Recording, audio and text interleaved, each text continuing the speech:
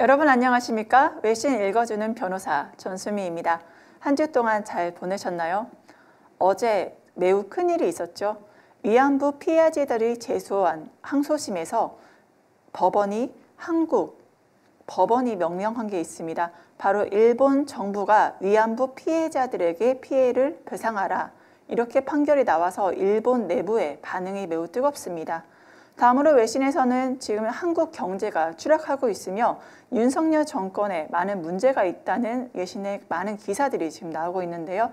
관련 두 주제에 대해서 같이 전문가 오시면 살펴보도록 하겠습니다. 이번에 윤석열 대통령이 영국에 국빈 방문을 했었죠. 그리고 지금 요즘 굉장히 뜨겁게 떠오르는 감자인 그 이슈가 하나 있습니다. 영국의 한 매체에서 두 가지의 좀 약간 다른 김건희 여사에 대한 다른 보도를 했었는데요.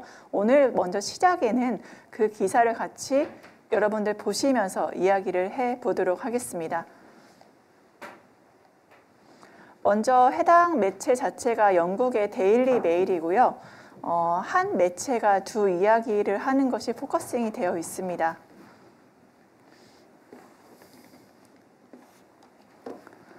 같이 내용 보시면서 이야기를 해 보도록 하겠습니다.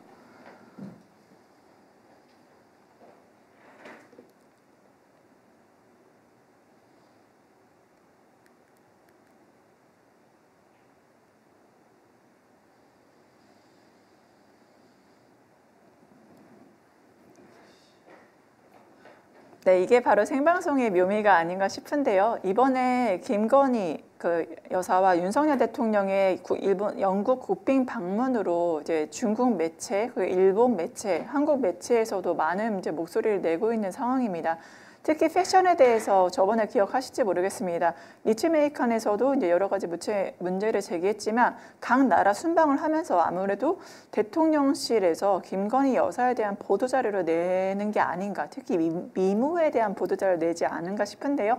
먼저 첫 번째 재밌는 기사, 영국의 데일리메일 기사를 보시면서 이야기 나누도록 하겠습니다. 어, 데일리메일에 대해서 약간 설명을 드리면 여러분들 기억하실지 모르겠어요. 옛날 썬데이 서울 기억하세요? 그 옛날 썬데이 서울처럼 약간 어떠한 굉장히 가십성 있는 그런 것들을 다루는 그런 매체라고 좀 생각을 하시면 되는데 이번에는 두 개의 기사를 내면서 굉장히 김건희 여사에게 focusing을 맞춘 재밌는 기사를 냈습니다. 한번 보실게요.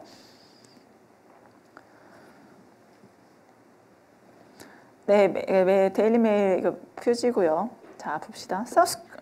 Very controversial first lady, businesswoman, academic Kim Kon-hee, uh, 51, has been accused of the tax dodging, plagiarism, and stock market uh, manipulation이라고 해서 뭐라고 했냐? 한국에서는 보세요, 여러분들. 그냥 일반 기사랑 다른 게 뭔지 보이시겠어요? Very. 그러니까 이거를 대문자로 지금 표현했다는 거 매우 논란이니까 우리가 영어로 하실 때그 롤이라고 L, O, L 하면 되게 크게 웃는 거거든요. 그 강조하는 거. very good 할 때 그것도 굉장히 어떤 글자를 늘리면 good이라고 할 때 G, O, D 하면 굉장히 강조하는 거거든요. 그런 식으로 여기에서 기사 제목부터 very라고 했다. 매우. 그러니까 강조하는 거로 굉장히 알 수가 있고요. 우리가. 보시면 이제 한국에 매우 논란이 많은 영부인이다라고 하면서 사업가이고 그다음에 학자인 김건희 이제 51세는 이러한 이제 텍스트, 그러니까 탈세라던가 표절이라던가 주, 어, 주가 시장의 조작 그 혐의로 이제 계속 어, 문제가 있다라고 이제 얘기를 하죠. 키우스 기소됐다고 얘기를 하죠.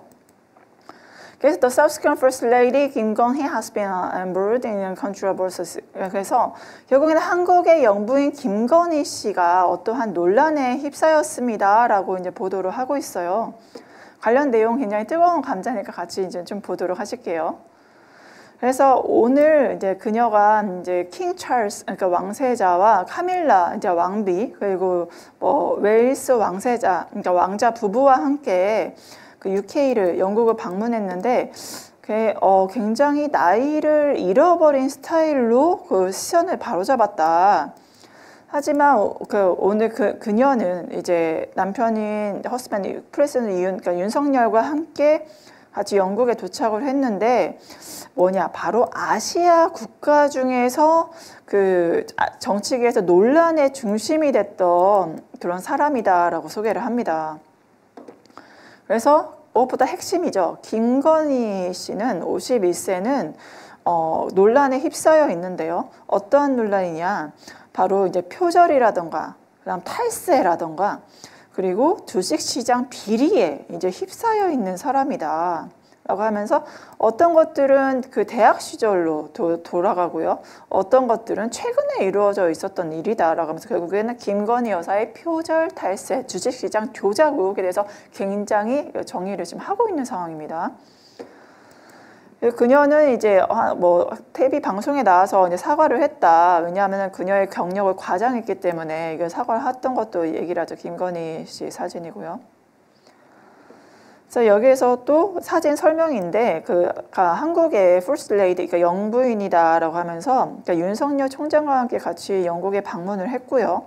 그리고 그 지난 한 해 바로 아시아 국가의 중에서 정말 국가 정치계에서 논란이 된 인물이다라고 아예 대놓고 이렇게 그 매체에선 얘기를 지금 하고 있습니다.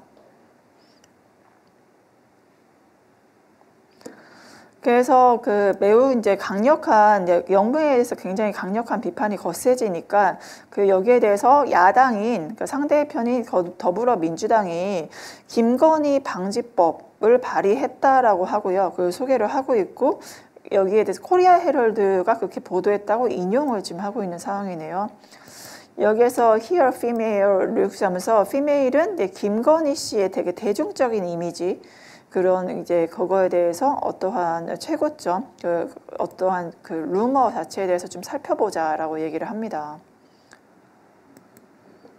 그래서 김건희 씨가 대통령과 결혼을 했다라고 해서 그 사연을 지금 얘기를 하네요. 그렇기 때문에 그녀 그, 그 사, 대통령과 결혼 사진에 대해서 저 얘기를 하고 김건희 씨 사진이 지금 나오죠. 이거 윤석열 대통령과 이게 그 비행기 타고 있는 모습. 그러니까 결국에는 그녀가 뭐 대학에서 그러니까 결국에는 대통령과 결혼을 했고 대학 그러니까 대학 시절부터 올라서 2007년부터 대학에서 가르치다가 이제 전시회 코바나 컨텐츠를 설립을 했다라고 이제 또 얘기를 합니다. 코리아 헤럴드 보도에 따르면 그녀는 뭐 이제 from uh, 나는 어린 나이부터 미술에 관심이 많았어요. 그래서 자연스럽게 미술의 가치를 전파할 수 있는 그런 이제 창업을 하고 싶다는 생각을 하게 됐습니다. 그래서 그 인터뷰를 아예 그 하네요. I wanted to, 어, 그래서 어, 나는 그 문화의 전시 기획을 넘어서서 어떤 긍정적인 영향을 좀 그 문화 분야 전반에 긍정적인 그 영향을 미치고 싶습니다라고 그렇게 소개를 했던 거를 얘기하네요.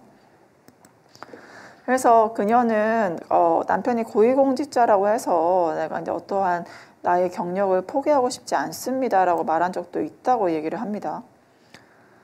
그리고 또 이제 미스터 윤 윤석열 대통령에 대해서 비판자들이 그게 이제 검찰총장으로 이제 재임 기간 동안에 그런 언론의 자유를 굉장히 영합하고 특히 가짜 뉴스와 싸우겠다는 명목으로 그 자신의 흠집내기식 보도를 이제 단속해왔다고 비난을 하고 있고 데일리 텔레그래프라는 이제 매체는 훨씬 지금 이 매체보다는 어, 좀 더 약간 공신력 있는 매체인데요.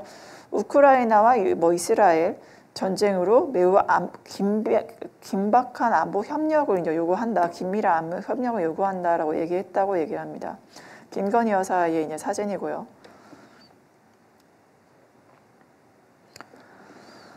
그래서 이제 윤석열과 이제 그 North Korea threat 그러니까 이런 북한의 위협에 이제 대응하기 위해서 미국과 합기 그 굉장히 협, 획기적인 협의를 이끌어냈다. 뭐 그렇게 그런 식으로 얘기를 하네요.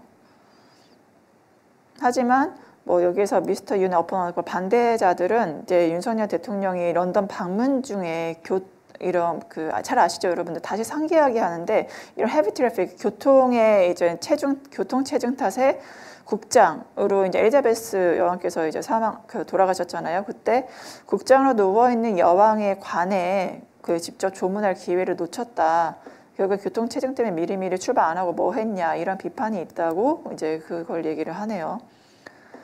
그리고 또 그는 윤석열 대통령은요, 이제 바이든 대통령과 얘기를 나눈 후에 유엔 총회에서 그다음에 그, 그 마이크로폰, 마이크를 통해서 욕설하는 게 포착이 됐고 이것이 이제 고국에서 입소문을 탔다라고도 얘기를 합니다. 그래서 윤석열 대통령과 김건희 여사가 같이 비행기 내리고 있는 모습들 사진이 정말 많네요. 요거에서는 표절 혐의에 대해서 그렇게 얘기를 할 수밖에 없는 거 표절 혐의에 대해서 얘기를 하는데요. 그러니까 김건희 여사가 그 경기대학교 김건희 씨가 경기대학교 미술학과 이제 졸업하고 국민대 박사학위 받은 걸 또 얘기를 하고 있고요. 하지만 그 국민대에서 조사를 한 결과 이제 그 무혐의 처분을 받았다. 왜냐하면 여기에서 이제 PhD에서 어떠한 박사학위 논문이 표절에 있었다라는 있어 국민대에서는 이거 무혐의 처분을 해버렸고 국민대는 김건희 씨의 연구에 결점이 있고 현재 기준에 따라서는 굉장히 부적절하지만 학문적 부정행위에 해당되지 않는다라는 이거는 마치 뭐라고 설명을 해야 될까요? 어, 뭐 마치 설명이 잘 안 되는데 정말 어불성설이죠. 국민대의 이런 김건희 씨 논문에 대한 이제 그 표절 논란에 대해서 분명히 현재 기준과는 맞지 않는다. 이제 문제가 있다라고 하면서도 표절은 아니다라고 했던 그 점을 지금 이제 연구 매체에서 꼬집고 있는 모습입니다. 그 다음에 이제 주가 어, 주가네요. 주가 조작 스캔들을 좀 보시도록 할게요. 주가 조작 스캔들에 대해서 지난 2월에 이제 도이치모터스 얘기를 해요. 주가 조작 스캔들에서 그, 그 김건희 씨의 계좌가 사용됐다는 판결을 내렸다. 여기서 이제 한겨레에 인용을 하면서 여기에 대해서 김건희 씨 어머니 계좌에서 어떠한 그런 정황이 있었고 사용한 그 수상한 거래가 이루어진 정황이 있었지만 어, 영부인이 직접 관여했는지에 대해서는 확인하지 못했다라고 얘기를 하죠. 하지만 여기서 꼬집는 게 있죠. 프레젠트 윤, 그러니까 과거에 윤석열 그 후보가 뭐라고 했냐, 그러니까 대통령이 그때 당시 뭐라고 했냐, 과거의 선거 기간에 어, 몇 달 동안 이제 자기 그 와이프의 부인이 이제 계좌 관리 다른 사람한테 맡겼다라고 했지만 하지만 그, 그 관계가 단절되고 영부인이 돈을 인출한 것으로 보인다라고 했죠.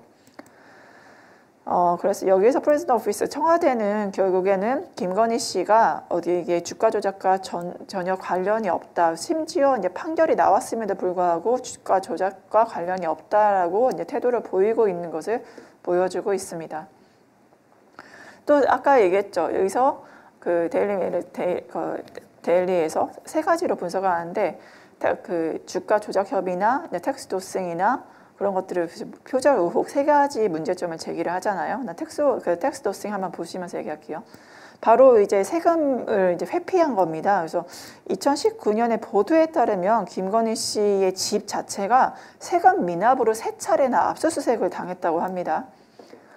네, 그리고 여기에 대해서 어, 동아일보가 이거 윤 후보자가 제출한 이제 인사청문회 자료에 따르면 서초구청 세무 일과에서 얘기하기를 그거는 2020, 2012년이나 2013년, 2015년 1월에 윤 후보자의 부인 김모 씨 명의로 서초구 주상복합 아파트를 압류했다. 이거는 윤 후보자 김 씨의 명의로 그거 세금 미납으로 그 김건희 씨가 자신의 아파트를 이제 어, 세 차례 압수수색을 압수를 당했다라고 이제 얘기를 하는 거죠. 김건희 김건희 씨와 네, 까밀라 어, 여사의 사진이고요. 그래서 또 그러면은 또 하나가 있어요. 부성 씨란 결국엔 이미지에 대해서 얘기를 어, 디선스 이미지라고 해요. 부성 씨란 이미지. 바로 또 예전에 헤럴드 코리아 헤럴드에서는 그 윤, 어, 윤건희 아니 윤석열 대통령의 그 부인 그러니까 김건희 김건희 씨가 어, 여름철 남편과 스페인에 같이 여행해서 이제 굉장히 화려한 목걸이를 했는데 그게 이제 재산 신고에서 4,500만 원 상당의 목걸이가 재산 재산, 재산 신고에서 누락됐다. 하지만 대통령실은 이건 지인한테 빌린 거다 그렇게 얘기했다고 하고요. 결국에는 이거는 그 그녀 퍼스트레 영부인이 이제 과거의 잘못을 논란을 뒤로 하고 넘어가려고 굉장히 노력하는 모습을 보인다라고 얘기합니다. 그래서 코리아 헤럴드 인터뷰에서 그 윤 당선인이 그 자신의 역할을 다하게 하는 것이 자기 배우자의 역할이다, 중요한 역할이다. 대통령 당신 그 당선인이 국민에게 집중할 수 있도록 나는 조용히 보좌하겠다라고 말했던 상황들을 얘기를 하고 있습니다. 결국에는 그 김건희 여사에 대해서 그 세 가지로 이제 얘가 얘기를 하는데요.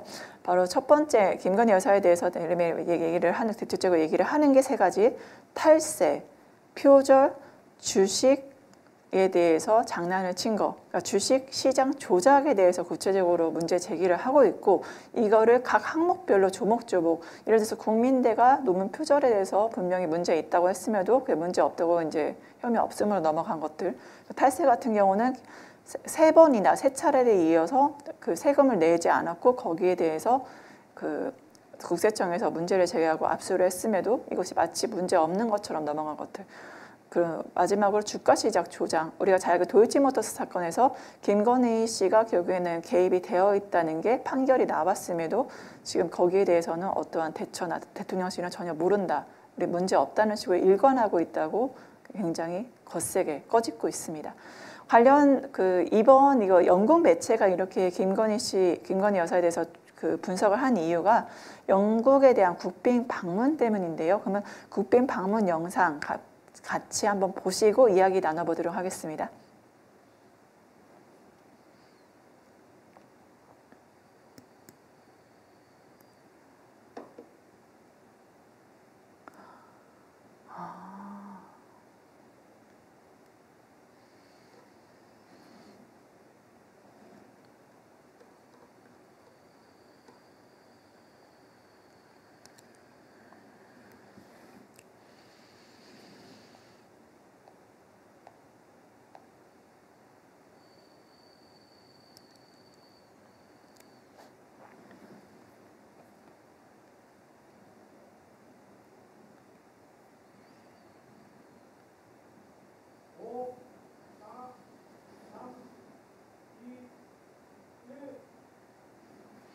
네, 같은 매체가 굉장히 또 재밌는 이제 기사를 냈는데요. 바로 김건희 여사에 대한 외모를 극찬한 이제 기사가 나왔어요. 제목만 보면요. 물론 실제 내용은 어떤지 아마 꼭 보셔야겠죠. 같이 기사 보시면서 또 말씀 나눠보도록 하겠습니다. The secret to Kim건희's age-defying looks에서 김건희의 나이를 거스르는 그런 이제 동안 외모의 비결. Subsequent First Lady, 51 looks decades younger with less and more makeup and non-invasive treatment and uh, strict skin, skincare regime and the clean cosmetic expert. 그래서 아 이게 김건희 씨의 김건희 여사의 나이를 거스르는 내 동안 외부의 비결이 뭐냐? 52세의 이런 한국의 영부인은 그 영부인 자체가 어, 최소한의 메이크업 한다? 여러분들 진짜 그렇게 생각하세요? 최소한의 메이크업. 살, 사진에 같이 보시면 아시겠죠? 그 다음에 또 뭘까요? 그 이게 어, 비침습적인 그런 treatment, 그러니까 치료, 그 다음에 굉장히 엄격한 이제 스킨 관리 때문에 그 굉장히 젊어 보이는 게 아니냐라고 이제 전문가들이 얘기했다고 합니다. cosmetic 화장품 전문가들이 얘기했다고요. 그래서 여기 이제 아까 우리가 영상을 봤지만 찰스 왕세자와 카밀라 여사가 같이 그 윤석열 대통령과 김건희 여사를 맞이하 접견을 한다. 그것도 부제로 나와 있으면 아까 영상 같이 보셨죠. 결국에는 이제 사우스카퍼스 그러니까 김건희 대한민국의 영부인 김건희 여사가 이제 찰스 국왕과 같이 어 그리고 여 카밀라 여왕이 국빈 방문으로 영국을 방문했다. 하지만 그 그녀는 이제 예술 그, 그 예술사 기획대표 출신이고 어, 그녀가 52세인 거를 알게 됐기 때문에 알게 된 사람들이 충격을 표했고 그녀가 10살은 더 어려 보인다라고 얘기했다고 그게 표현을 합니다. 그래서 한 이제 female 그러니까 그, 그 피부과 관리자 이제 설립자가 아 이러는 굉장히 어 인터뷰에서 나이를 거스르는 놀라운 외모다. remarkable 나이를 거스르는 놀라운 외모다라고 했고 그래서 이건 다양한 비침습적 미술 조합, 미, 그러니까 미용의 그러니까 시술의 조합일 수 있다. 그러니까 시술을 여러 가지 한 거 아니냐 그런 얘기를 한 거겠죠.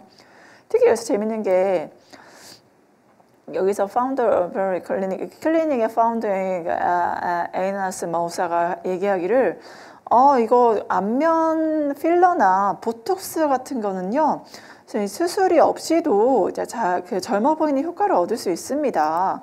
그래서 이러한 효과는요, 그 잔 주름을 펴지게 하고요, 볼륨을 펴지, 그 볼륨을 회복하게 하고요, 최대 젊어 보이게 한다고 이게 전문가가 얘기했다고 하죠.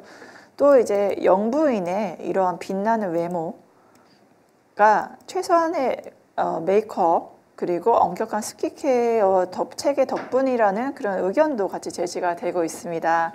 네. 지금 김, 김건희 씨 사진을 같이 보고 있는데요. 여러분들 혹시 좀 보이실지 모르겠어요. 김건희 씨 얼굴 사진, 뭐 cosmetic의 힘을 뭐 빌렸다 이런 얘기들이 좀 있는데요.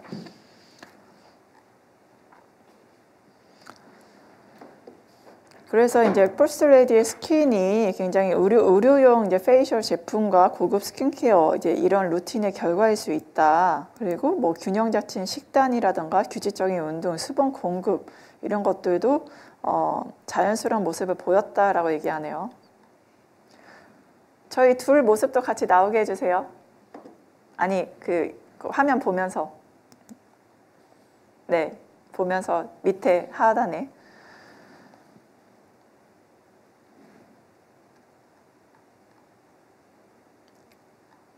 아까 영상을 같이 보셨고요. 그래서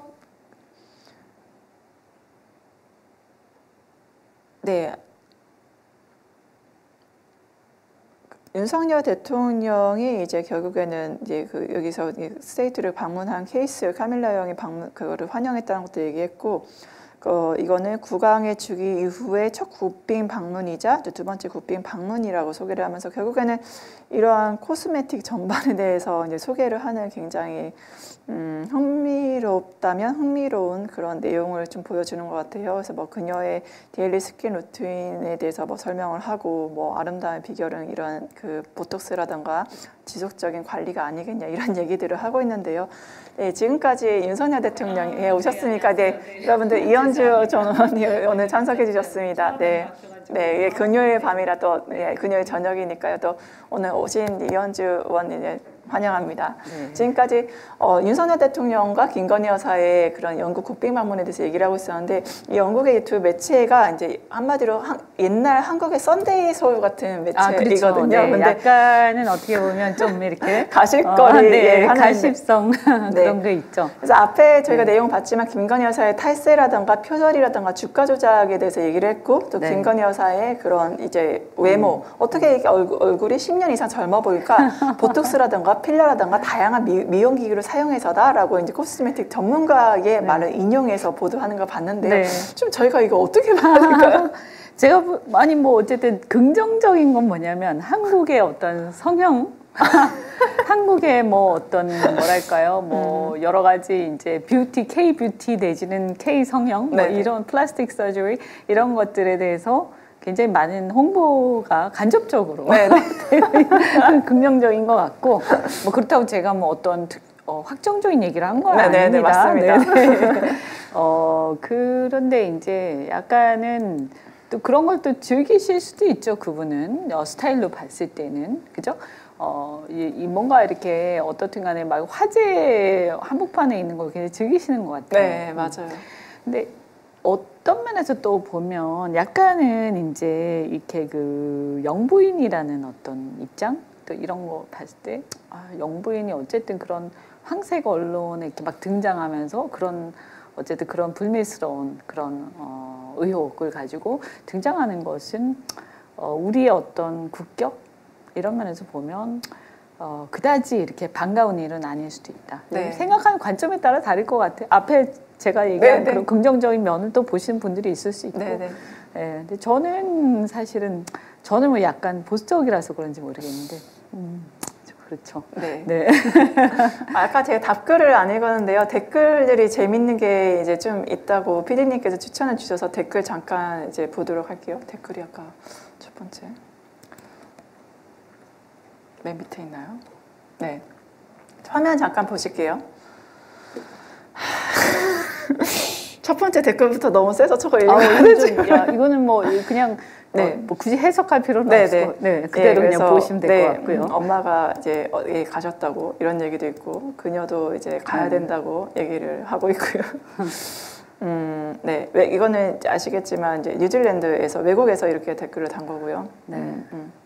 스위스 에서도 이렇게 이제 그녀의 손을 봐라. 이제 아까 그 왜 10년이나 젊어 보이냐 했을 때 10년 스- 그 손을 보면은 진짜 나이를 알 수 있다. 이제 아. 그런 것들도 의혹을 제기하고 있고.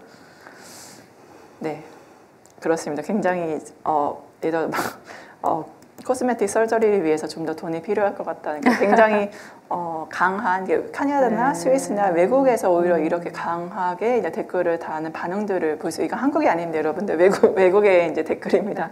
그래서 저는 이런 것 같아요. 이게 사실은 뭐 어, 외모나 이런 부분들에 대해서는 이제 시대가 많이 변해가지고 그쵸, 그쵸. 사실 그런 거에 대해서 사람들이 이렇게 굉장히 관대하거든요. 네, 네. 예, 그리고 또 어떤 분들은 또 굉장히 과감하게 드러내기도 하고 문제는 뭐냐면 근데 왜 이렇게 이런 문제들이 그냥 어, 쿨하게 넘어갈 수도 있는데 왜 이렇게 사람들이 이것을 가지고 비아냥거리고 어, 조롱하고 하느냐 그럼 이게 네티즌의 문제만인가라고 음, 했을 때 음. 이렇게 희화되기까지는 아까 앞에서 얘기한 여러 가지 어, 의혹 문제, 그러니까 뭐 주가 조작 의혹이라든가 그 다음에 이제 학력 위조 의혹 이런 부분들에 대해서 어, 좀 더 당당하지 못하고 그 다음에 수사가 이렇게 지연되고 제대로 진행이 안 된다고 맞습니다. 보잖아요. 근데 그러다 보니까 거기다가 이제 그 주변에 이제 처가 그 둘러싼 처가에 뭐 처가 이거 완전히 별개는 아니지 않습니까? 다 열, 같이 맞아요. 연관이 돼 있잖아요. 이런 것들이 이제 사람들이 볼 때 국민들 또는 이제 다른 전 세계 또 많은 교포나 이제 관심 있는 사람들이 볼 때 어, 어, 이러한 어떤 일련의 어떤 행보가 그렇게 어, 정의롭게 보이지 않는다는 음. 거죠. 그러다 보니까 이제 어, 외모나 이런 것도 예를 들어서 그 사람 하는 게 다 훌륭해. 그러면 이제 그런 부분도 뭐 그럴 수도 있지. 이렇게 될 텐데 그게 아니라 이제 이런 부분들이 이렇게 어두운 부분들이 막 모락모락 의혹이 나니까 그러면 거기에 대해서도 분명하게 대응을 하지 않고 분명하게 입장을 밝히지 않고 계속 이제 어 뭔가 석연치 않게 계속 진행이 되다 보니까 사람들이 더더욱 이제 어이 외모든 뭐든 이런 행보 하나하나가 어 좋게 안 보이는 거죠. 맞습니다. 어 저는 그렇다고 생각하고요.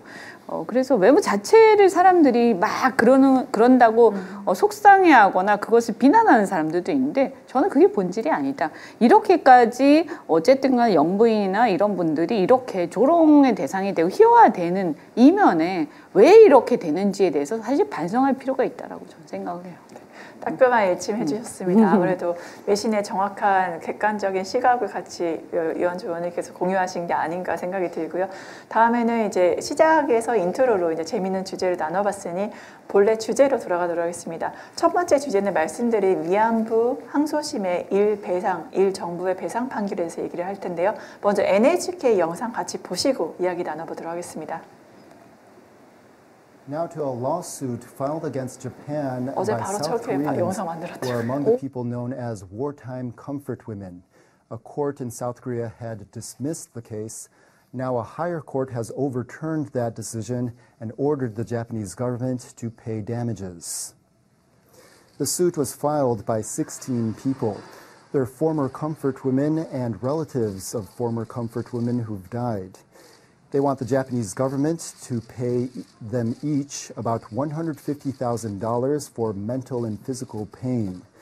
A lower court dismissed the case in 2021 on the grounds of sovereign immunity.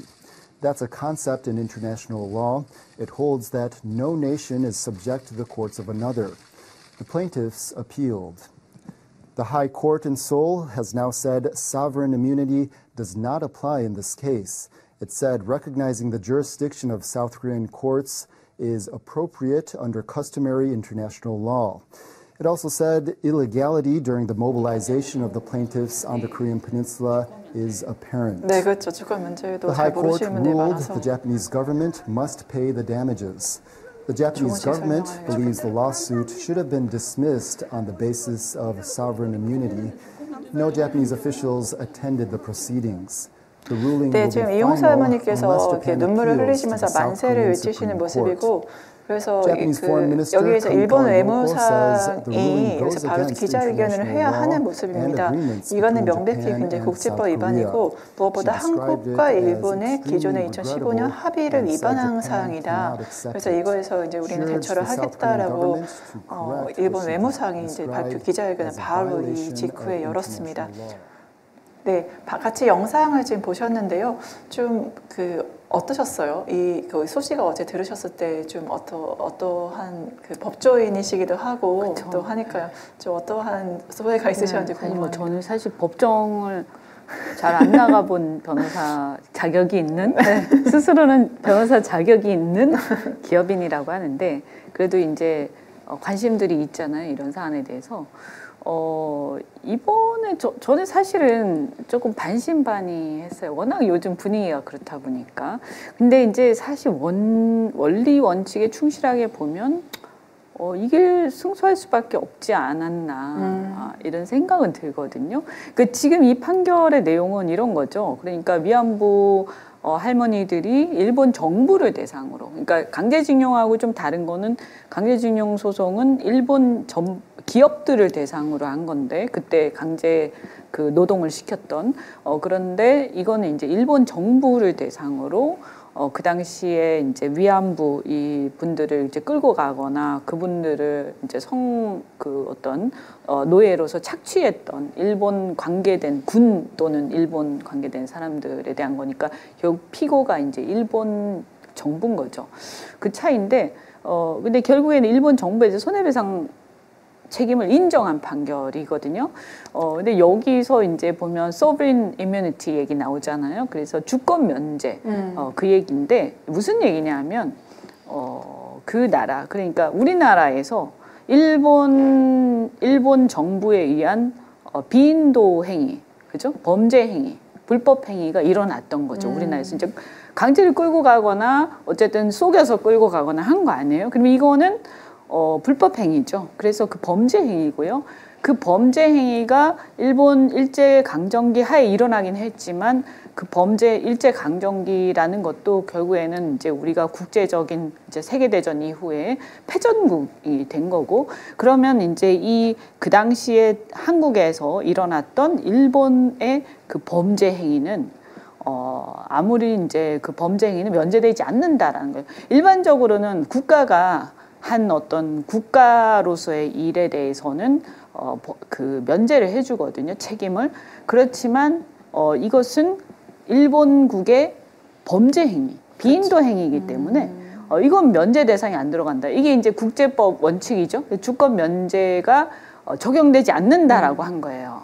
네. 근데 이제 일본 외무상이라든지 일본 측의 주장은 그 이거는 그 대상이 아니다. 어? 주권 면제 대상이다 라는 거 하고 그다음에 또 설사 그렇다 하더라도 어또 그 우리 청구권 협정 1965년 청구권 협정에 의해서 다 해결이 됐다. 네, 맞습니다. 또 그게 아니라고 하더라도 2015년 양 정부 간의 합의에서 또 해결이 됐다. 그런 주장을 하고 있는 거죠. 네, 일본 측의 입장을 그런데 한번 이렇게 일본과 한국 당사자가 아닌 로이터는 어떻게 좀 보고 있는지 아마 이제 스트레이트선 달바 기사로 나와서 이제 한번 소개를 좀 드리도록 하겠습니다. South Korea orders Japan to compensate comfort women 어, 어, reverses 어, area ruling 해서 그러니까 한국의 법원이 그러니까 그 일본의 위안부 배상 판결을 내렸는데 이거는 이전의 판결을 뒤집는 거다라고 이제 얘기를 하고 있습니다. 이 사진을 보시면 이게 여러분들 어떤 사진일지 궁금해 하실 수가 있는데요. 어, 이, 이게 2016년에 12월 15일에 호주의 한 시드니의 한 교회에 세워진 한국의 위안부를 기리는 동상에 그 꽃다발이 놓여져 있는 거고요. 근데 이게 1.5m 크기의 동상인데 어, 이게 한국에서 어, 가져온 거 수입된 거고 이게 시드니 한인 사회와 일본 사회 사이에서 서로 좀 갈등을 일으키고 있다, 불러일으키고 있다라고 그러는데 결국에는 이번에 뭐 로, 어, 로이터는 약간 객관적인 매체니까 하지만 한국과 일본 사이에 갈등이 있는 걸이 사진 한 장으로 사실 상징적으로 호주 시드니 한 교회에 있는 이 꽃다발과 이 위안부 소녀상으로 이제 표현을 하고 있는 것 같습니다. 저 여기에서는 결국엔 이제 서울에서 이제 한, 한국의 이제 항소심에서 이제 일본 매춘업소에서 그 전시 때 이제 그때 일을 하셨던 분들에 대해서 일본이 배상해라. 그리고 여, 이거 자체가 도쿄에 굉장히 엄중한 프로테스트 항의를 그 촉발을 했다라고 얘기하고 이것이 역사에 대해서 소개를 해요. 결국은 10년에서 45년 사이에 한국 한반도 그러니까 식민지 지배 유산이고 굉장히 서로에게 이제 그 민감한 사안으로 남았고 그다음에 이 사건이 어, 기각한 학업 판결, 판결을 뒤집고서 이런 것들이 있었다는 것들을 이제 소개를 합니다. 그리고 미국과 이제 두 동맹국의 사이의 관계에서 굉장히 이러한 성학대라던가 강제 노동 문제로 이제 긴장이 되어 왔고, 뭐 이 윤석열과 기시다 총리 자체가 여기에 대해서 관계 개선을 위해서 노력을 해왔다. 그리고 법안의 이러한 판결에 대해서 이제 그 일본의 오카노 마사타카 이제 외무성 이제 사관이 말하기를 어, 강력한 항의를 제기를 했다라고 이제 얘기를 하고 있습니다. 그리고 내용을 소개하기를 2016년에 각 2 억 원씩 어, 배상을 요구하면서 그 소송을 제기를 했는데 어, 여기에서 이제 주권 그 앞에서 이현주 의원님께서 말씀한 주권 면제 원칙을 들어서 2021년에 소송을 기각한 거를 얘기를 하고요. 네, 여기에 대해서 역사적으로 소개를 하지만 여기서 거지만 하이콜드 그러니까 서울의 고등법원이 이런 하고심 판결을 뒤집고 일본 정부에 대해서 이제 그 한국 법원의 재판 관할 거를 인정하고 어, 그러니까 일본 정부를 하나의 피고로 인정을 했다라고 이제 보도를 결국에 하고 있습니다. 보시면은 이 로이터에서는 시드니 한 교회의 그런 어떠한 그 소녀 사항을 얘기하면서 한국과 일본의 갈등을 그러니까 시민사회에서도 일반 국민들 사이 갈등을 또 보여주고 있고 피해자 16명에 대해서 이제 각 2억 원씩 배상을 하라. 1심 판결을 뒤지고 항소심에서 이러한 이제 판결을 내린, 내린 거죠. 그리고 로이터에서 소개를 했지만 뭐 그동안 한일 양국의 발전을 위해서 윤석열과 이제 기시다 총리가 서로 이제 노력을 해왔었다라고 이제 소개를 하고 있습니다. 이러한 상황을 봤을 때 결국에는 윤석열 대통령과 기시다 총리에게 이 판결 자체가 어떻게 어떠한 영향을 좀 미치게 될까요? 음, 근데 사실은 이런 문제가 어, 발생할 수밖에 없다 이런 혼란이 아. 이런 거는 지난번 그 강제징용 그 배, 그 양보 어, 양보를 합의할 때부터 맞아. 계속 나왔던 얘기죠. 맞아, 맞아. 네, 저도 그 얘기를 계속 했고 왜냐하면 이게 지금 법원에서 소송이 진행 중인데 사법부가 하는 소송들, 그러니까 사법부의 판결이라는 것은 어 이제 좀 사법부는 별개잖아요. 이제 상권 분립에 의해서 그러면 사법부에서 이거를 지금 결론을 내리기 전에 정부가 막 나서서 이렇게 그 사법부의 판결을 막 처분하는 행위를 하는 게 과연 우리나라의 헌법 정신에 부합하느냐. 만약에 그런 어, 배치되는 어, 합의를 우리 정부가 한다 손 치더라도 사법부의 판결이 다른 방향으로 나오게 되면 그러면 이게 그러면 판결이 무효되는 거냐? 그렇진 않지 않느냐. 판결은 판결대로 음, 유효하거든요. 음, 음, 음. 그러면 사실은 이런 거예요. 자, 이게 그러면 어떻게 이런 경우에 예를 들면요. 만약에 이런 내용을 이렇게 하기로 한다라고 우리나라 국회에서 국회에서 법안을 제정을 하면 그럼 해결이 돼요. 음. 그게 입법부의 역할이에요. 맞습니다. 입법부라는 것은 새로운 맞습니다. 질서를 창출하는 거예요. 맞습니다. 그래서 어, 사법부는 이렇게 막 하고 정부는 막 이렇게 하는데 이런 부분들에 대해서 앞으로 우리는 이렇게 할 거야라고 미래에 대해서 어떤 새로운 질서를 만드는 것, 미래에 대해서 어떤 새로운 질서를 만드는 것은 그것은 이제 법, 국회가 법을 제정하면 할 수가 있어요. 근데 지금 윤석열, 그러니까 조약도 국회 비준을 받잖아요. 네. 그러니까 예를 들면 일본 정부하고 뭔가를 했는데 그 협정을 맺어서 그 합의를 조약 처럼 국회에서 만약에 주, 비준을 맞는다면 그것은 아마 제가 볼 때 거기에 따라서 법원이 판결을 내릴 거예요. 그죠? 법원은 법에 준거에서 하는 거기 때문에. 그래서 이게, 어, 그래서 그렇게는 해결될 수 있을 텐데 지금 윤석열 대통령과 기시다 총리의 어떤 합의는 국회 비준을 받은 조약에 준하는 음. 그런 내용들이 아니거든요. 그냥 행정부 차원의 그냥 합의인 거죠. 어, 근데 이런 경우에는 법원의 판결이 나오게 되면 이건 당연히 이제 충돌 문제가 생기고 근데 법원의 판결을 행정부의 합의를 가지고 무효화할 수가 없기 때문에 우리 헌법 체계상 어 이것은 사실 죄송하지만 어 일본 정 일본과 우리의 합의 자체가 그냥 어떤 정신을 표시한 것일 뿐 음? 어떤 구체적이고 실효적인 또 실체적인 어떤 효력을 발생한다고 보기는 어려워요. 그래서 이, 하, 이 판결을 무효화시킬 수가 없어요. 어, 그러니까 사실 이거 예견된 상황이에요. 예견된 상황. 그래서 그때도 제가 문제 제기를 했던 게 아니 분명히 정부 안에서도 이런 문제들을 점검하고 윤석열 대통령 스스로가 법조인이잖아요. 이런 어떤 나중에 이런 사법부하고의 문제가 생길 수 있다. 그런 혼란이 생길 수 있다는 걸 예견할 수 있을 텐데 어, 그렇다면 결국에는 이걸 제대로 문제를 해결하기 위해서는 국회하고 긴밀한 협의 없이 이렇게 진행해서는 안 된다.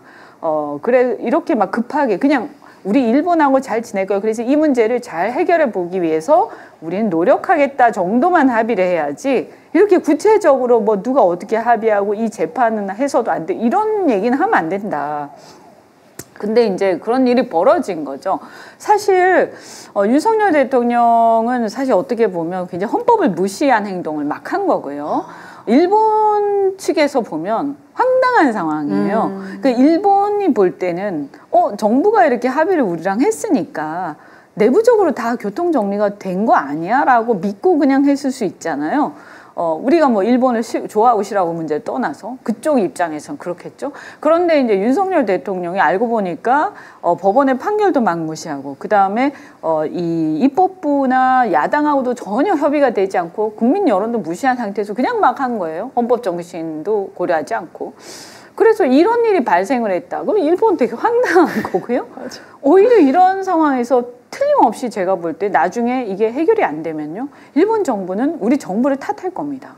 무책임하다. 그리고 책임지지, 책임질 수 없는 약속을 마구 남발했다. 이렇게 될 거기 때문에 결과적으로 보면 양국 관계는 더 나빠질 수밖에 없다. 어, 잘해보려고 했다가 더 나빠질. 제가 그때 계속 한 게 그거예요. 결과적으로 한일 관계 더 악화시키는 어떤, 어, 그, 어, 밑그림을 지금 그린 셈이 됐다. 어? 이게 앞으로 어떻게 될 게 뻔한데 왜 이런 어리석은 짓을 하느냐. 아, 정말 이거는 좀 황당하죠. 근데 아까 여기서 보시면 그 이제 그러면 1심에서 어, 예. 1심에서 법원에서는 그러니까 주권 면제를 인정한 거예요. 그래서 말하자면 이런 거죠. 우리가 국가 간에는 서로 주권이 있잖아요. 그런데 어, 어떤 나라가 예를 어떤 나라 안에서 다른 나라에 대해서 다른 나라를 피고를 해가지고 소송을 막 제기를 해. 그러면 이게 어떻게 되겠어요? 주권이라는 게 애매모호해지잖아요. 그래서 다른 나라의 주권은 우리가 각자가 좀 존중하자. 음. 그래서 주권 국가에 대해서는 피고로 인정하지 않는다라는 게 주권 면제 원칙이거든요. 근데 이 경우 예외가 있어요. 몇 가지 예외가 있는데 그 중에 하나가 뭐냐 하면 어, 비인도 행위, 어, 범죄 행위, 그러니까 그, 저, 전범 행위, 이런 것들입니다. 그러면 이제 이번에 2심에서 인정한 건 뭐냐. 이게 주권 면제 대상의 예외, 주권 면제 대상이 아니다. 이 행위는. 비인도 행위, 범죄 행위고, 당시에 이것은 전범 행위라든가 이런 거에 준해서 봐야 된다라는 거예요. 그리고 저는 2심 판결이 그동안 일관되게 우리나라 법원이 취해왔던 입장이고요. 음. 이것은 사실은 전 세계가 다 그렇게 어, 입장을 갖고 있어요. 어, 그럼 여기서 아까 얘기한 것처럼 사람들은 근데 일본하고 한국하고 응? 그거에 대해서 합의한 것 같던데 이렇게 되는 거. 어, 그 합의가 문제는 뭐냐? 합의해서 그것을 어, 새로운 질서 창출할 수도 있는데 문제는 그 합의가 사법부 판결, 그 다음에 국회, 그 다음에 국민 여론 전혀 고려하지 않고 혼자서 마음대로 한 거라서 지금 문제가 되는 거예요. 네. 네, 아유 정말 정확한 분석. 저는 그 이현주 의원님 그 해안에 놀란 게 제가 저희가 뒤에 이제 일본 신조에 대해서 다루고 거기서 이제 윤석열 정권 믿을 게 안 된다, 무너지고 아, 있다 아, 이렇게 하고 있거든요. 그렇게 할 수밖에 없잖아요. 그거를 예측을 하시고 지금 말씀하시기 제가 굉장히 놀랐습니다. 아니 이게 왜냐하면 일본 측에서 보면요, 지금 기시다도 굉장히 몰릴 거예요. 네, 일본에 네, 이제 기시다의 반대편 세력들이 음, 있을 맞습니다, 거 아닙니까? 맞아, 맞아. 야당이라든가 당내 이제 반대 세력들 이쪽에서는 야 너는 도대체 일을 어떻게 했길래 음. 그따위로 해 음. 이런 일이 벌어지냐 기시다 문 문제가 있다 이렇게 막 나올 거거든요. 어? 어 그래서 다 알면서 우리를 속였다 이럴 거 아니겠어? 그럼 네, 기시다는 맞아요. 뭐라고 해야 되겠어? 아 나도 속았다 이래야 될 거 아니에요. 그래야 자기가 이 저 책임에서 좀 자유로워지잖아요. 틀림없이 그렇게 나올 것이다. 네, 저는 이현주 의원님 말씀에 100% 동감하고 앞으로 이제 기시다 총리와 일본이 어떻게 윤석열 정권을 대체하는지 한번 보겠습니다. 그 간단하게 이제 그 뭐지 아사히랑 그 중국 그 대만 매체 잠깐 보시고 주- 해당 주제 넘어갈게요. 말씀하신 대로 한국 법원에서는 아사히에서는 이제 주권 면제를 인정하지 않았다. 이제 결국엔 역전승을 했다 이렇게 표현을 하고 있고요. 그리고 이제 대만의 이제 CNA에서 대만 매체에서는 여기서 한국에서 역시 일본의 배상 책임을 물어서 그 배상을 하라고 했다. 이제 항소심에서 그렇게 했다. 그- 여기서 하면서 이용수 할머니가 이제 마- 눈물을 흘리면서 만세를 부르고 있는 모습을 이제 사진으로 이제 이렇게 보여주고 있습니다.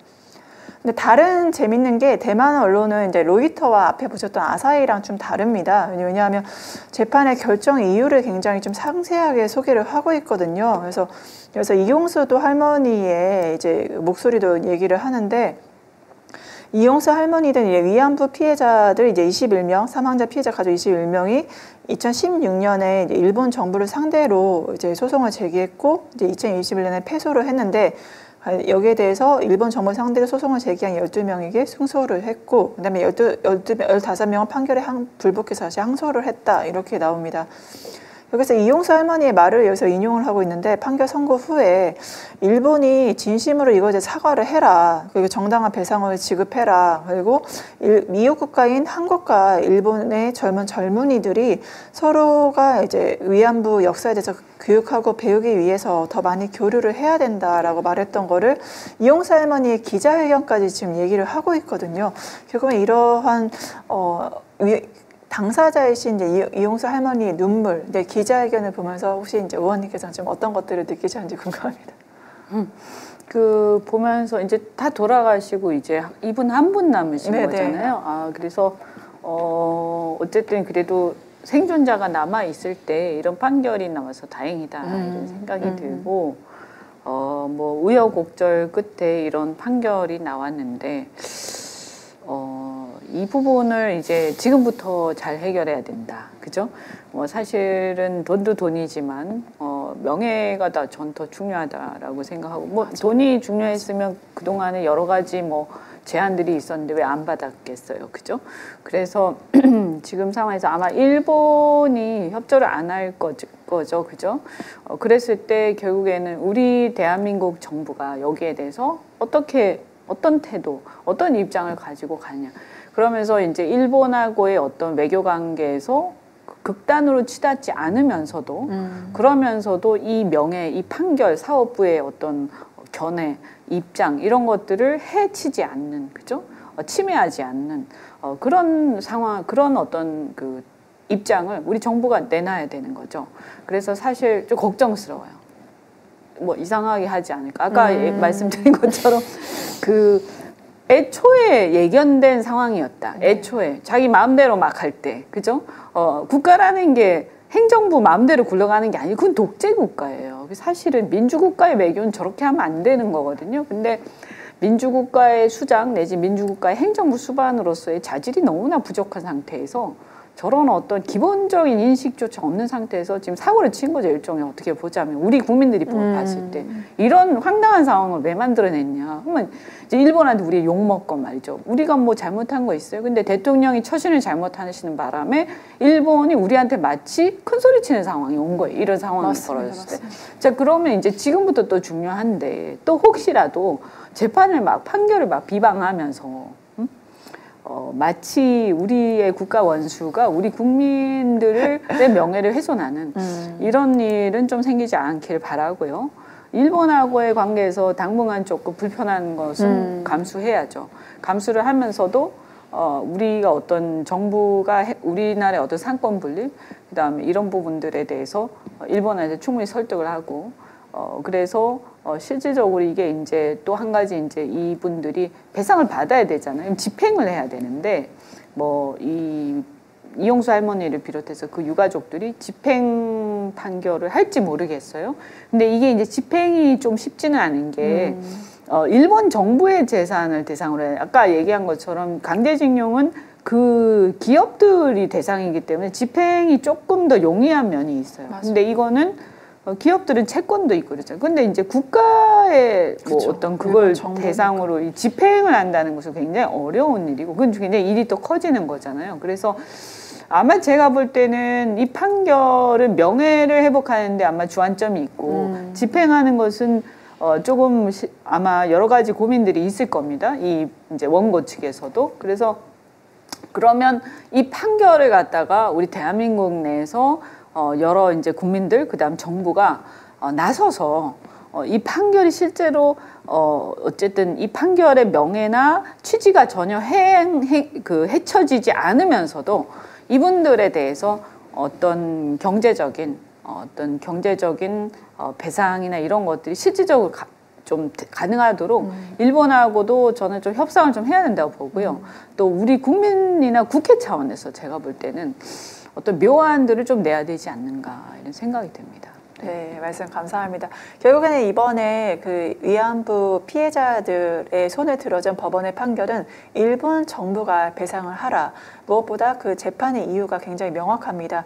그 위안부 피해자 할머님들이 강제든 어떠한 상황이든 거기에 끌려가서 몇십 명의 일본군을 상대로 해서 성적인 착취를 당했고 거기에서 많은 정신적이나 신체적인 피해를 입었기 때문에 이러한 비인도적인 행위에 대해서 이거를 주권 면제 사항이 아니다라고 판단했던 게 대한민국 항소심 판결이었고요.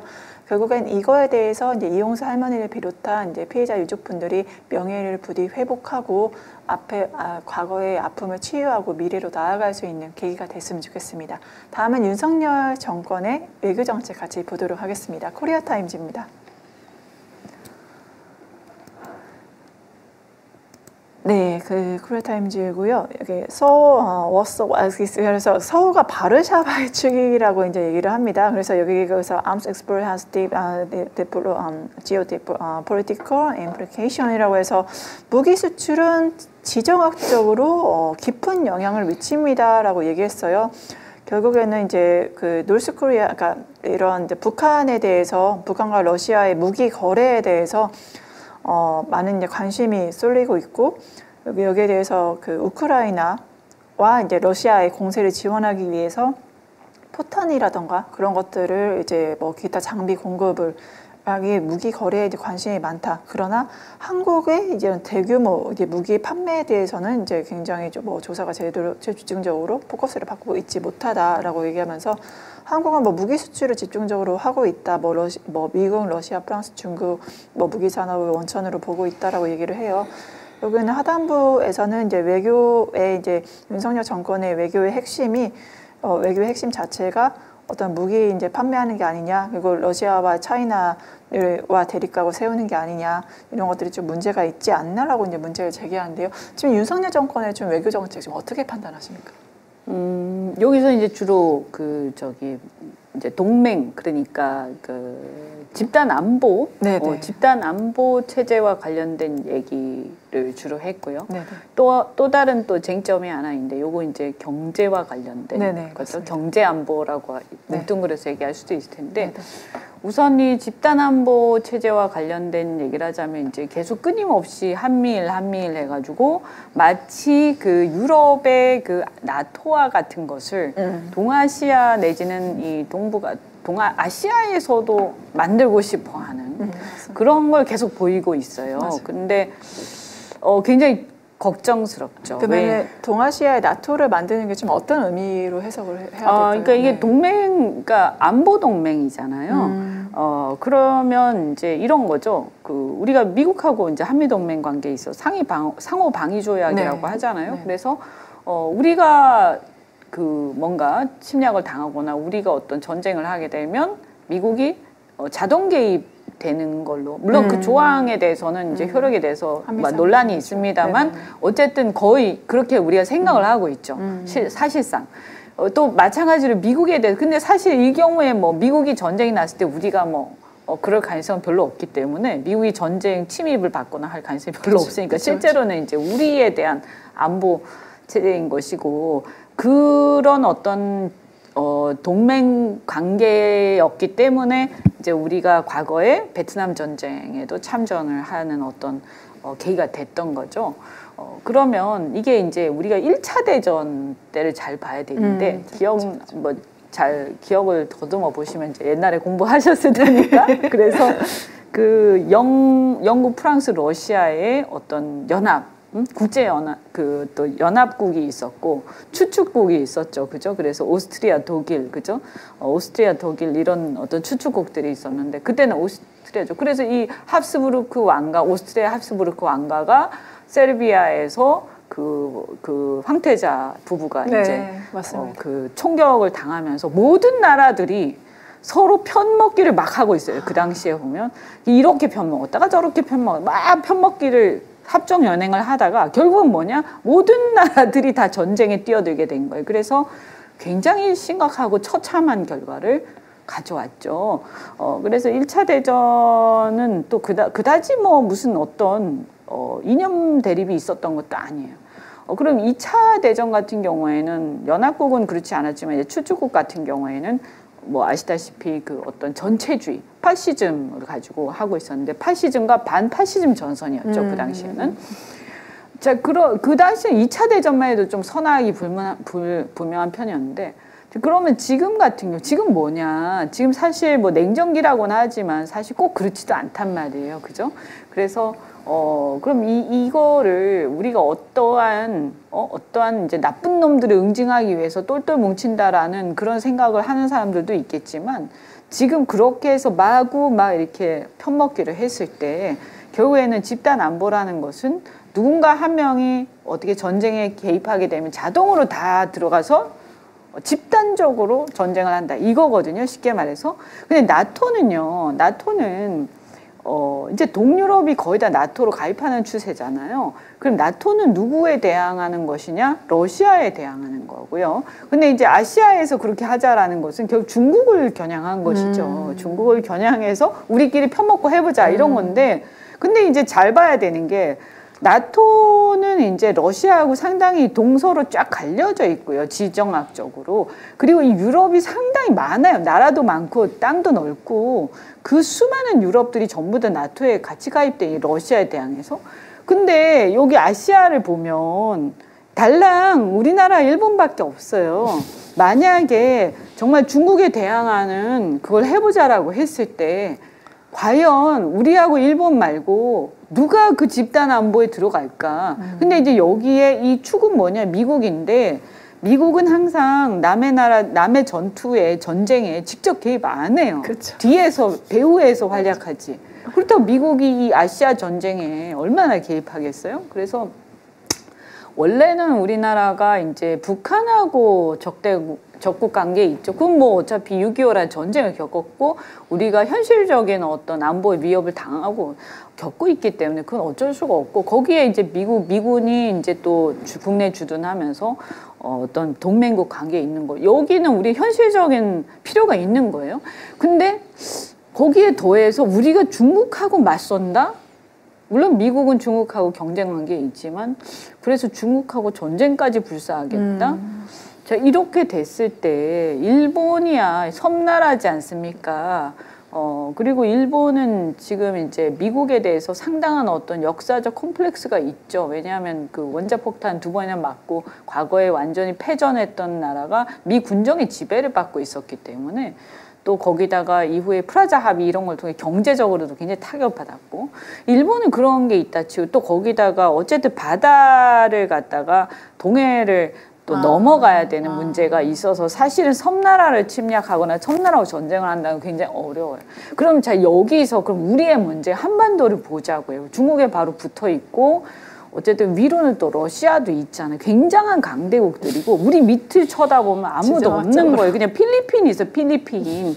그래서 우리가 냉정하게 생각해서 과연 여기서 우리가 이 편먹기에 완전히 찰싹 붙어서 막 그것도 앞장서서 어 앞으로 가자 나를 따라 막 이러고 있는 거 아닙니까 지금 이게 과연 이성적인 판단이냐 하는 거에 제가 얘기하는 것은 우리가 한미 동맹은 북한하고 한반도에서 북한이 우리를 침략했을 때 한미 동맹의 필요성, 현실적 필요성 아까 말씀드렸지만 이게 확장돼서 대중국 또는 대러시아 어떤 집단 안보가 이 동아시아에서 과연 거기서 우리가 맨 앞에 지금 총알바지로 나가는 게 맞아? 음. 이 얘기를 저는 하는 거고 그런 면에서 굉장히 위험한 행동을 하고 있다. 그래서 유럽하고 완전히 지금 다른데 상황이 음. 그죠?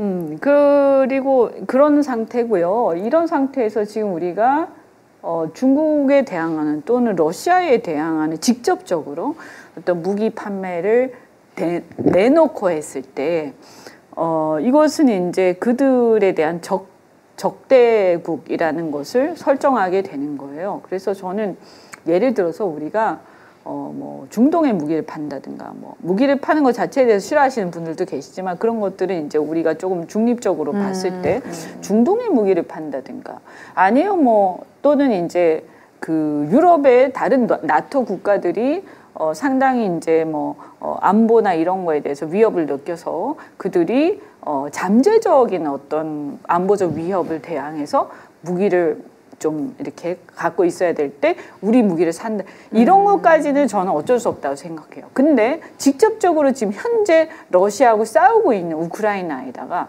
지금 현재 무기를 갖다가 그것도 굉장히 치명적인 무기를 어, 대놓고 어, 공급한다. 이것은 뭐냐면 러시아에 대한 적국 선언이거든요. 그쵸. 그러니까 이거는 우리가 러시아를 심정적으로 아, 전 나쁜 놈들이다. 왜 침공하느냐. 또는 뭐 그래도 우크라이나가 이제 약자니까 좀 이렇게 심정적으로 좀 응원하고 싶다. 이런 걸 떠나서 우리의 전략적 상황에 봤을 때 우리가 또 러시아하고 만약에 국경을 맞대고 있지 않으면 모르겠어요.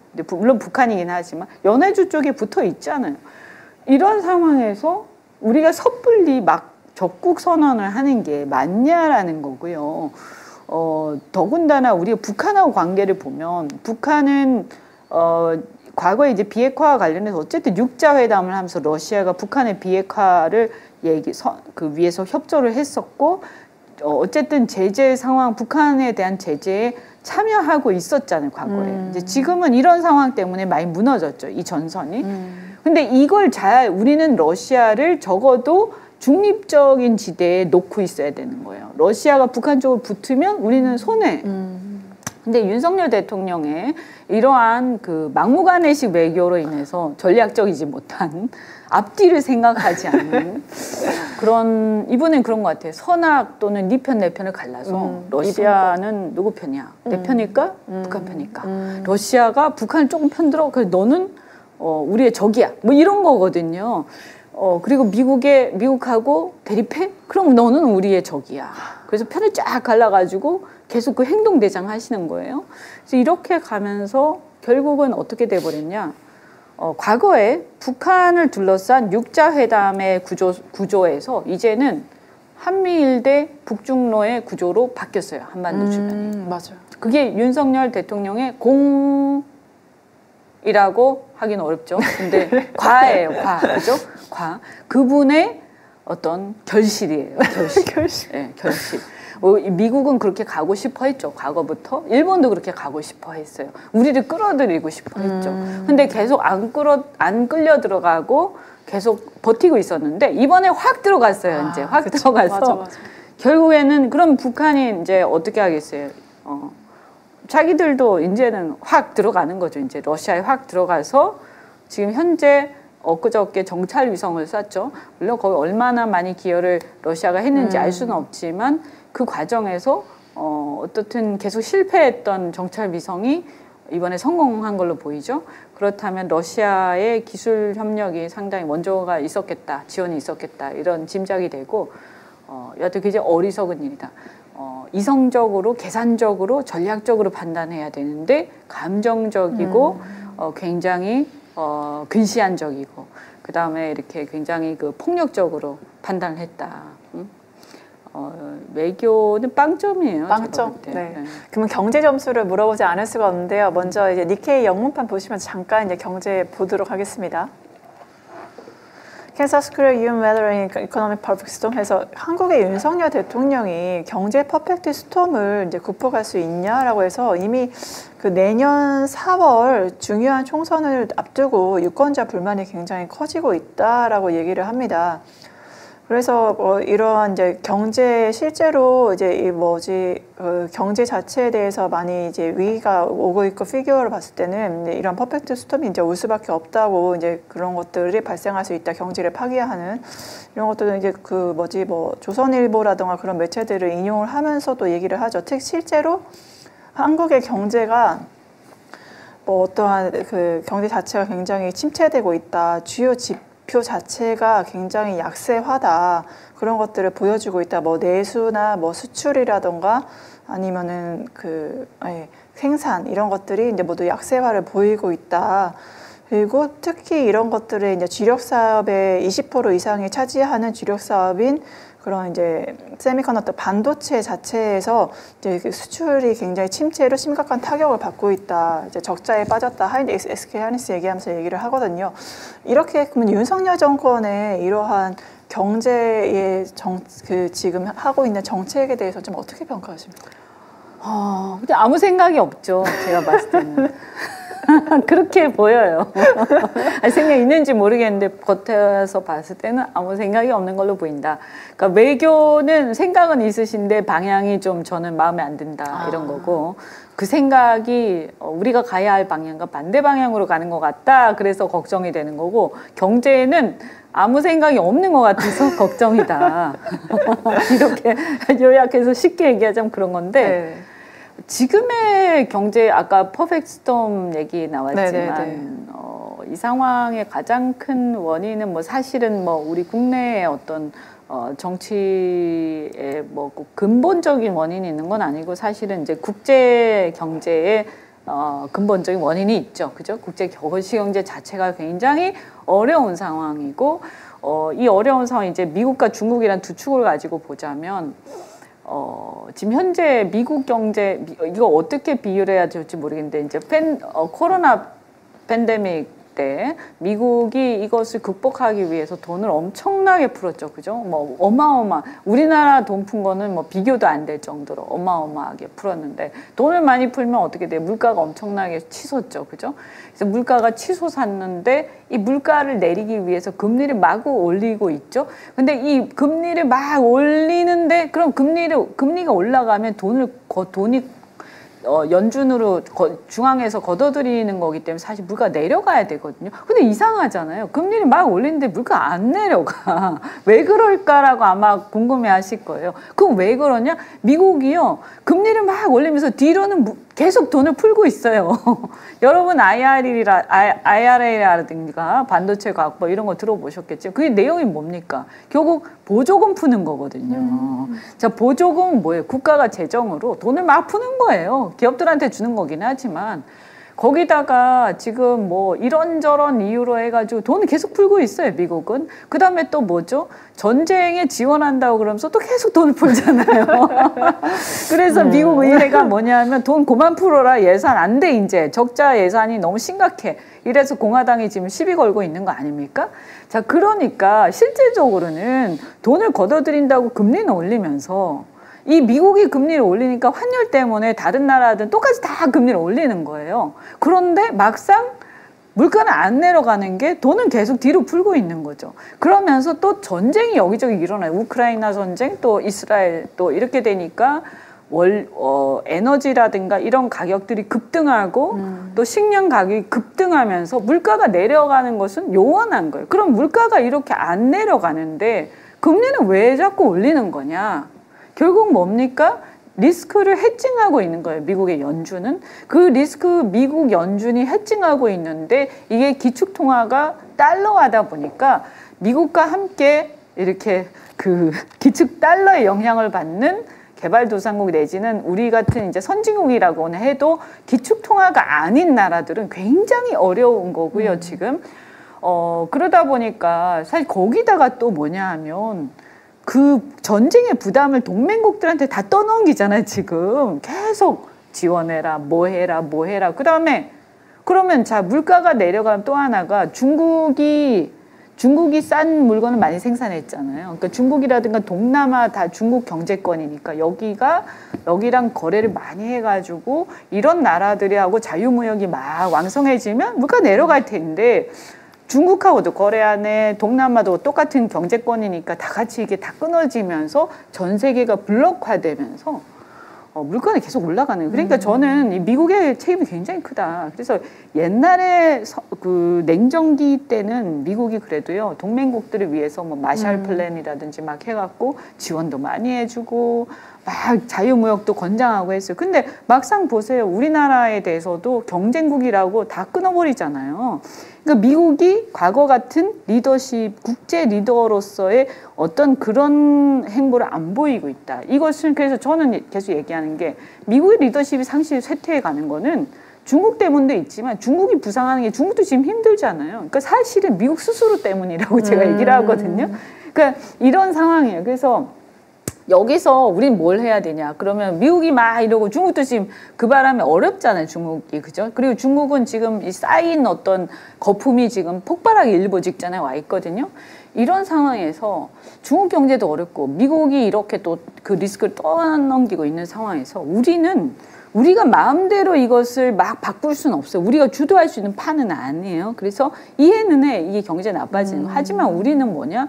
그럼 그렇게 되지 않도록 우리 외교의 경제 외교의 방향은 설정이 돼야 되는 거예요. 그 음. 그 방향이 아니라 아무리 음. 동맹국이라고 해도 미국에다가도 그렇게 하지 말자. 이렇게 계속 가면 다 같이 폭망한다라고 얘기하면서 계속 그 얘기를 끊임없이 해야 되고 IRA법이나 이런 것들을 할 때도 우리가 그게 되게 계속 문제 제기를 하면서 그, 그 문턱을 낮추도록 노력해야 되고 그리고 중국에 대해서도 그래 미국하고 이런 눈치를 보지만 그래도 중국뿐만이 아니라 동남아라든가 중국 경제권에 대해서 우리가 끊임없이 그래도 계속 하려고 노력을 해야 되고 근데 이 노력과 반대 방향으로 가고 있잖아요. 저는 또 치명적인 게 뭐냐. 나는 이해가 안 되는 게 이번에도 영국 가서 몇십 조를 34조인가 그 우리 대기업들이 아주 건실한 기업들이 영국에 투자 금융산업에 네, 투자하기로 했던데 네. 어, 왜 남 좋은 일 계속 시키지? 이런 거죠. 지금 우리가 그 정도로 여유가 있어? 남들은 리쇼어링이다, 보호무역이다 해서 전부 자기 자국에다가 막 투자를 유치하고 나가 있는 그 돈들 다 걷어들이는 중인데 우리는 왜 계속 퍼주고 있지? 왜 계속 퍼주고 있지? 그럼 이렇게 해서 우리한테 얻어지는 건 뭐지? 우리가 그 정도로 뭐 우리가 뭐 옛날에 마셜 플랜 할 때 미국 정도의 그 정도 나라가 되나 지금 우리 코가 석자인데 그러면 미국도 보세요 반도체 회사들 다 미국에다 지금 생산 기지 짓고 또 지었고 하는데 그럼 그 회사들 입장에서 보면 미국이 인건비 우리보다 비싸요. 음. 우리나라 인건비 임금 높다고 막 하는데 우리보다 더 비싸요. 미국은 지금 물가가 올라가지고 음. 엄청난 고임금이거든요. 그런데다 생산성 우리나라 노동자보다 못해요. 미국은 이 high quality 그러니까 이 어떤 그 실리콘밸리라든지 이런데 창의적인 IT 쪽이 굉장히 발달한 거지. 어, 이 어떤 블루칼라들의 생산성 우리나라 훨씬 높거든요. 근데 왜 그거를 미국에다가 계속하고 우리나라의 건실한 기업들이 우리나라에 투자하도록 차라리 혜택을 줄 거면 그런 데다 줘야지. 지금 그래서 좋은 일자리가 다 외국으로 빠져나가고 우리나라는 없는 거예요. 아. 그러면 이 상황에서 지금 모든 것이 거꾸로 가고 있고 그래서 영업사원 1호 영업사원 시켜놨더니 국내 기업들 다 몰고 가서 외국에다가 투자하고 투자하라고 막 권장한 독려하는 게 이게 1호 영업사원인가? 그렇죠. 아, 지금 뭐 어떻게 되고 있는지 모르 그래서 이런 거에 제가 볼 때는 다 알겠어.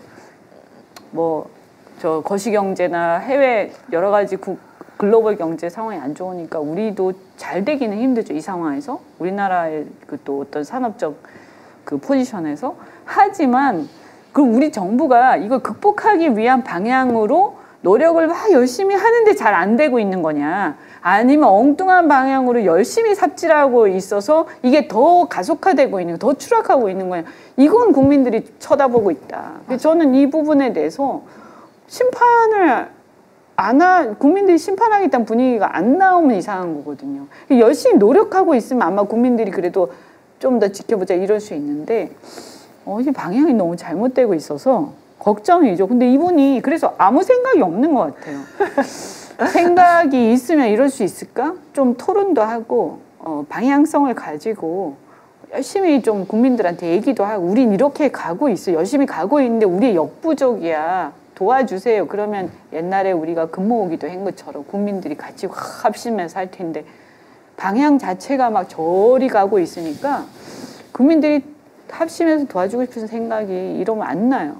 그러면 이게 점점 점점 경제는 더 침체되고 한국 국민들의 어떤 역동성과 신바람 이런 게 발휘가 안 되는 거죠.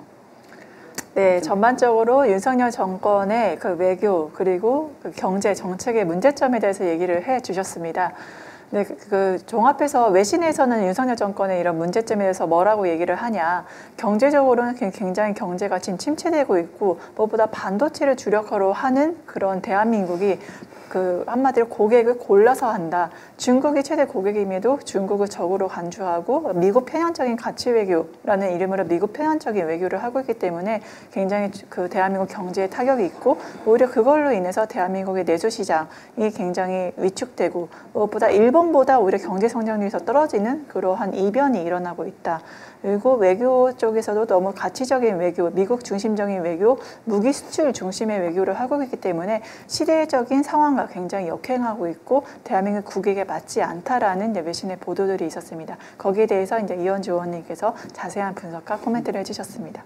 오늘 외신의 소리 처음 나오셨는데 아, 어떠셨어요? 네네네. 네. 아, 재밌었어요. 또 이렇게 굉장히 이렇게 또 이런 내용으로 하니까 굉장히 좀 저는 저는 좋아요. 왜냐하면 이렇게 너무 국내적인 이렇게 그 정파적 얘기를 하는 것보다 어, 이런 게 좀 더 필요하다. 왜 그리고 제가 항상 하는 얘기지만 제가 그 이현주의 글로벌 싱킹이라고 네, 네, 네. 그, 말씀 주셨어요. 네.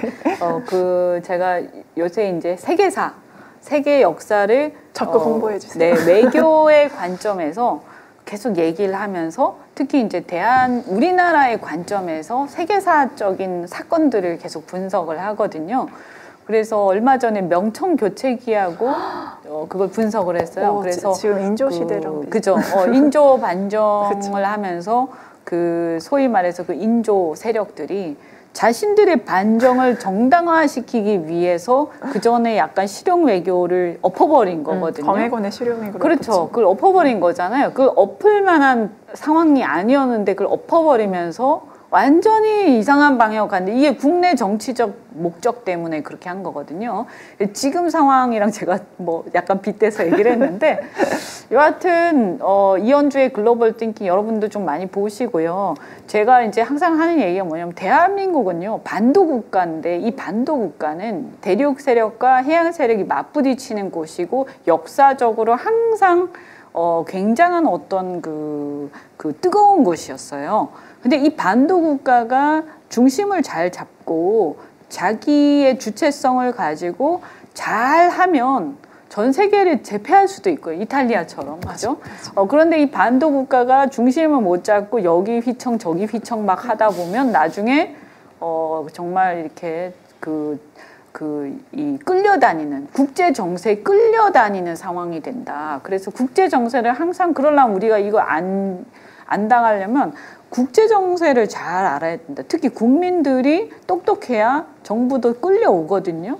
그래서 우리나라 국민들은 너무 국내적인데 몰두하시지 마시고 우리의 모든 일어나는 일들은요 국제 정세하고 밀접해요.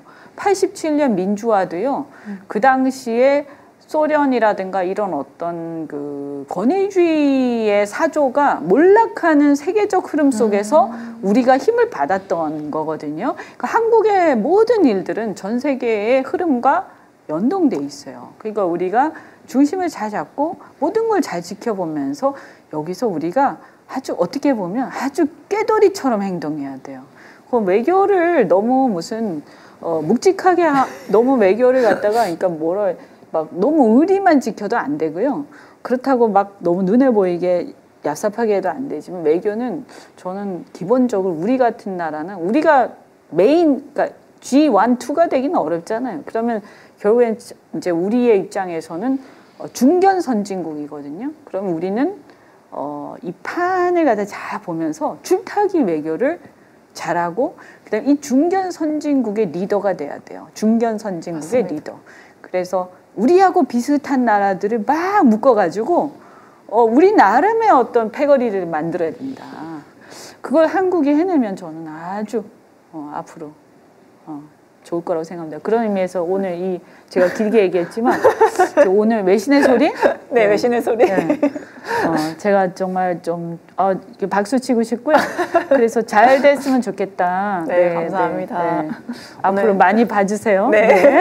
네, 오늘 이현주 의원님 방송하시면 잘 봐주셨으면 좋겠고 앞으로도 이현주 의원님은 계속 이제 그 SNS로나 이제 유튜브로나 계속 소통을 하고 있으니까요. 여러분들 이현주 의원님의 이제 그 여정 그리고 행보 같이 이제 응원해 주시고 지 지해 주시고 많이 배웠으면 좋. 저는 지금 바로 옆에 계신데 어 저 그 제가 정치 외교학을 공부했는데 웬만한 정치 외교학과 교수님보다 훨씬 네, 스승님들 죄송합니다. 훨씬 강의가 너무 좋아서 되게 행복한 배움의 아. 시간이었습니다. 개인적으로 감사드립니다. 그러면 어, 이번 주 외신의 소리는 여기까지 하도록 하겠습니다. 이번에 이현주 전 의원님을 모시고 정말 감사한 배움의 시간이었고요. 외신 같이 분석해봤고 다음 주 금요일 날 또 인사 올리겠습니다. 여러분 감사합니다. 네, 고맙습니다.